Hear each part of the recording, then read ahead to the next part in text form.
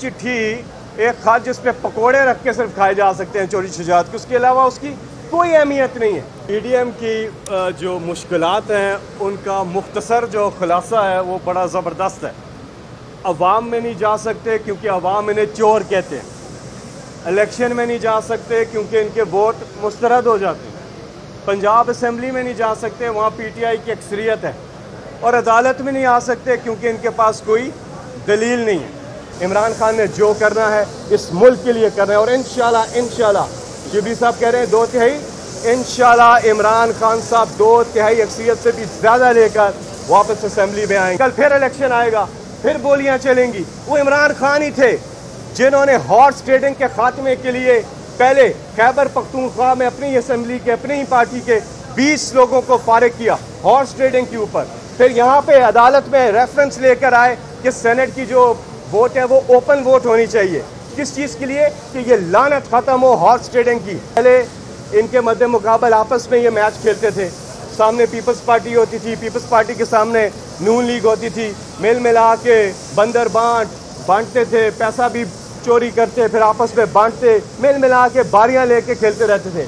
ये कैसा निज़ाम है कि अवाम वोट किसी और को देते हैं और उस पार्टी के नुमाइंदे बिक जाते हैं? और वो अपना वोट तो चीफ एग्जीक्यूटिव का जो इंतखब है, वो डायरेक्ट वोट से होना चाहिए। ये सीधा सीधा केस था। इस पे कहते हैं, जी फुल बेंच बनाए। और ये ऐसे ही है कि आप पूरा मैच खेल रहे हैं, आपसे रन्स बन नहीं रहे हैं, और आखिर में आप कहते हैं कि, जी, हमने नहीं खेलना। भाई, आप आके दलील दें, आपको बहुत ज़्यादा वक्त मिला है, बहुत ज़्यादा वक्त मिला है। पीटीआई को कोई वक्त नहीं मिला था। पीटीआई की फ़ौरन अदालत लगी, फ़ौरन फैसला आ गया। और ये बेंच में शामिल थे ये जज साहिबान। इमरान खान साहब को घर भेज दिया गया।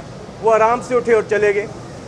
और फिर उन्होंने अल्लाह के बाद अवाम से रुजू किया और पंजाब के बाई इलेक्शन में वोट इमरान खान को पड़ा है। तो सर जो खुलासा है वो बड़ा ज़बरदस्त है। अवाम में नहीं जा सकते क्योंकि अवाम इन्हें चोर कहते हैं। इलेक्शन में नहीं जा सकते क्योंकि इनके वोट मुस्तरद हो जाते हैं। पंजाब असम्बली में नहीं जा सकते, वहाँ पी टी आई की अक्सरियत है। और अदालत में नहीं आ सकते क्योंकि इनके पास कोई दलील नहीं है।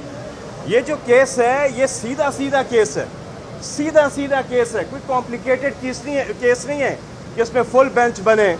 वो तो चाहते हैं कि फुल पीटीआई जो है फुल पीटीआई का मुकाबला करने के लिए फुल पीडीएम जो है, उसी पे मबनी बेंच बन जाए।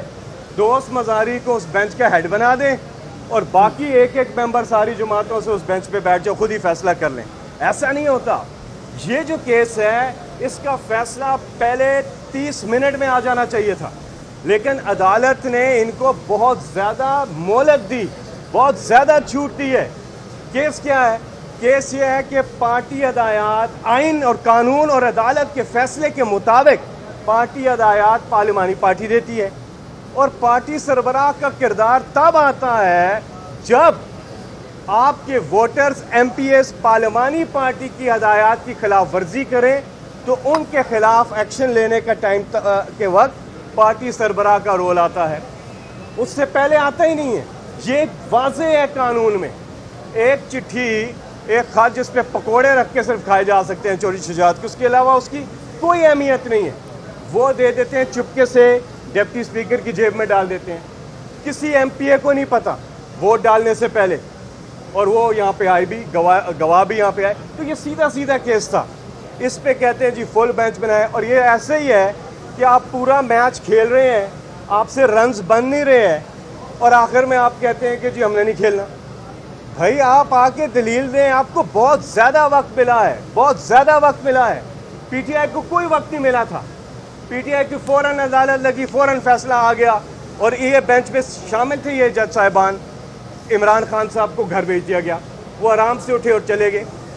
और फिर उन्होंने अल्लाह के बाद अवाम से रुजू किया और पंजाब के बाई इलेक्शन में वोट इमरान खान को पड़ा है। किसी कैंडिडेट को नहीं पड़ा। वो इमरान खान के नज़रिए को वोट पड़ा है। और ये अनप्रेसिडेंटेड है पाकिस्तान की हिस्ट्री में। इसकी मिसाल नहीं मिलती।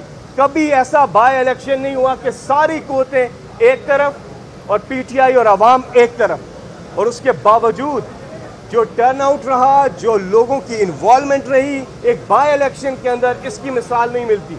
ये आम इंतबात से ज़्यादा लोगों की इसमें इन्वॉलमेंट रही है, जो तारीखी जलसे हुए इमरान खान साहब के। और जिस तरह से इमरान खान साहब को लोगों ने जितवाया है वोट देकर अवाम की अक्सरियत ने इमरान खान साहब को मुंतखब किया है। लेकिन फिर पार्लियामेंट में आके इन्होंने हर अरबा इस्तेमाल किया, पैसे चढ़ाने की कोशिश की और आखिर में फिर जाकर ये गनौना खेल खेला। आइन से इनराफ किया है और आइन, गैर आइनी, गैर कानूनी रूलिंग, जिसको अदालत में हमने चैलेंज किया और आज इन उसका फैसला आएगा और हक और सच पर मबनी कानून और आइन के मुताबिक फैसला आएगा। इन्हें चाहिए कि स्पोर्ट्समैन स्पिरिट का मुजाहरा करें। मैदान में आए। एक इंडियन बैट्समैन था। उसको इमरान खान ने, वो कैप्टन थे टीम के, उसको आउट करते हैं। वो सर लाता है कि मैं आउट नहीं हूँ। वो जा रहा होता है वापस। इमरान खान उसको कहते हैं आजा दोबारा बारी कर। वो फिर आप बारी करा। अगली बॉल पे वो फिर आउट हो जाता है। तो आप आ जाए, मैदान में आए। दूध का दूध और पानी का पानी हो जाएगा। आप आए इलेक्शन में आए, साफ़ और शफाफ इलेक्शन तमाम तर मसाइल का वाद हाल है कि हम इलेक्शन में जाएँ अवाम से रुजू करें। साफ़ और शफाफ इलेक्शन से जो हुकूमत आएगी, वो सबको काबिल कबूल होगी। लेकिन जिस रास्ते से ये आए हैं और जो ये हरबे इस्तेमाल कर रहे हैं और जिस तरह से इदारों पर, अदालतों पर ये हमला आवर है, ये किसी सूरत काबिल कबूल चीज़ नहीं है। एक तरफ़ इमरान खान है जो अपनी कौम के साथ, कानून के साथ, आइन के साथ खड़े हैं और दूसरी तरफ़ ये लोग हैं जो हर दो नंबरी करने की कोशिश कर रहे हैं। ये जो निज़ाम है, इसको परखने की ज़रूरत है, इस पर सोचने की ज़रूरत है। इससे कत नज़र के क्या होता है आगे? इससे कल फिर इलेक्शन आएगा, फिर बोलियाँ चलेंगी। वो इमरान खान ही थे, जिन्होंने हॉर्स ट्रेडिंग के खात्मे के लिए पहले खैबर पख्तूनख्वा में अपनी असम्बली के, अपनी ही पार्टी के 20 लोगों को फारिग किया हॉर्स ट्रेडिंग के ऊपर।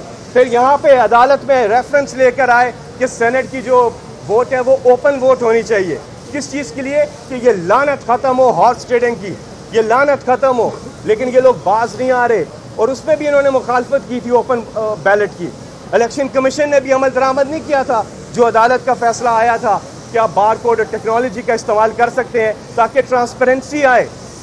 ये कैसा निज़ाम है कि अवाम वोट किसी और को देते हैं और उस पार्टी के नुमाइंदे बिक जाते हैं और वो अपना वोट तो चीफ एग्जीक्यूटिव का जो इंतखब है वो डायरेक्ट वोट से होना चाहिए इस पर इस पर गौर व फ़िक्र कर सकते हैं इस पर बैठ के गौर कर सकते हैं देख सकते हैं कोई रास्ता निकाल सकते हैं। शफाफियत शफाफियत और शफाफियत। इमरान खान साहब इमरान खान साहब इन, ये इन्हें समझ नहीं थी पहले इनके मद्दे मुकाबल आपस में ये मैच खेलते थे।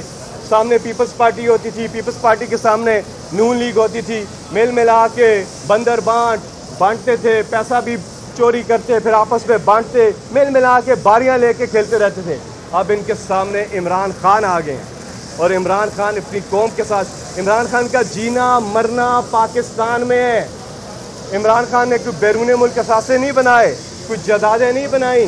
ये वो लोग हैं जो इस आवाम को अवाम को लूट के अपनी ज़ात के लिए अपने लंदन में फ्लैट, सरे में महल बाहर दौलते बनाते हैं। इमरान खान ने जो करना है, इस मुल्क के लिए करना है। और इन शाह शाला शिबली साहब कह रहे हैं, दो तिहाई। इन इमरान खान साहब दो तिहाई अक्सीत से भी ज़्यादा लेकर वापस असम्बली में आएँगे। आप सबका बहुत बहुत शुक्रिया।